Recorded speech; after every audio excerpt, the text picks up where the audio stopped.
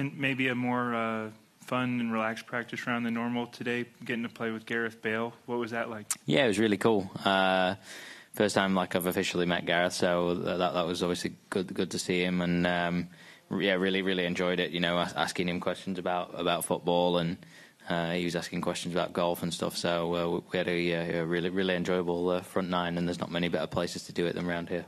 Was his game as good as Jon Rahm made it sound last week? Uh, I I don't know. I don't know what Jon said, um, but. Uh, yeah, he was. Uh, he, he's obviously a good player. He's, he's obviously got got a lot of talent. So, um, yeah, he, he was impressive.